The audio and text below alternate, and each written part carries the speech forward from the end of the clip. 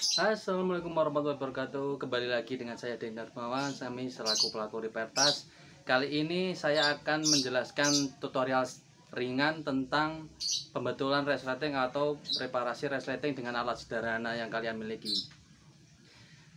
Banyak yang tanya soal hal tersebut karena banyak yang terjadi kendala seperti itu. Baik maupun di rumah maupun di jalan dengan kondisi kita membawa tas tasnya membuka resletingnya membuka sendiri atau resletingnya aus. Nanti saya akan jelaskan cara tutorial singkat dengan alat sederhana yang ada di sekitar yang bisa kalian temui seperti tang. Mari kita simak videonya dari awal sampai akhir biar kita dapat manfaat dari video tersebut. Yuk kita lihat videonya. Ini saya akan mempraktekkan tutorial memperbaiki resleting tas dengan alat sederhana yaitu pakai tang atau oh, catut yang pertama ini resletingnya gigi plastik yang aus bagian depan. Nah ini aus bagian depan. Ini resleting utamanya. Ini yang resleting gigi besi. Ini saya coba perbaiki dengan dengan cara seperti ini kita tekan di bagian pangkal kepalanya. Yang biasanya aus itu kepala.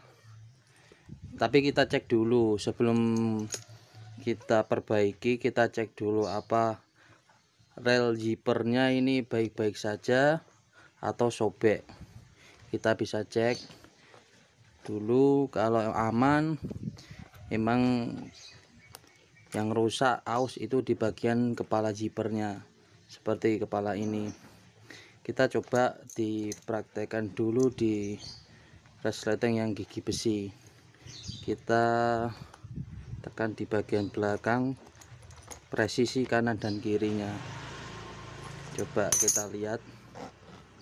Hmm, bisa balik nutup lagi tapi ini hanya bersifat sementara ya.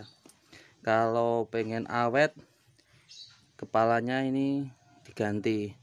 Kalau saya ini sebagai profesi perbaikan tas tetap saya ganti supaya biar tahan lama.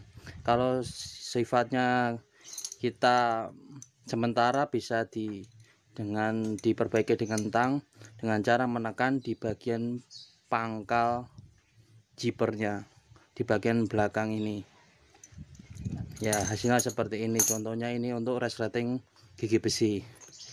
Yang kedua ini zippernya gigi atom gigi balik atau nama apa namanya? Ke resleting waterproof. Ini kita coba dengan menekan di bagian pangkalnya juga. Kita utamakan di posisi awal. Jangan di tengah-tengah.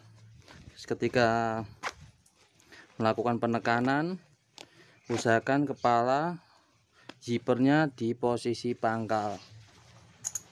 Kita coba. Jangan menekannya terlalu kuat. Kalau udah lapuk malah bisa patah. Tuh bisa balik seperti semula tapi saya tekankan lagi ini sifatnya sementara bukan bisa dipakai jangka panjang. Salah satu cara ini bisa dimanfaatkan kala mendesak. Kalau saya sarankan apabila dekat ke tempat reparasi lebih baik diganti aja untuk sekianlah tutorial singkat yang bisa saya sampaikan. Kurang lebihnya mohon maaf apabila kalian memiliki cara lain untuk memperbaiki resleting tersebut. Silahkan berbagi informasi di bawah di kolom komentar. Apabila ada pertanyaan juga silahkan komen di bawah supaya saya jelaskan di video-video selanjutnya Tak lupa saya minta dukungannya dengan cara subscribe, like, dan share sebanyak-banyaknya biar saya lebih semangat untuk membuat video-video selanjutnya. Sekian dari saya, kurang lebihnya mohon maaf. Wassalamualaikum warahmatullahi wabarakatuh.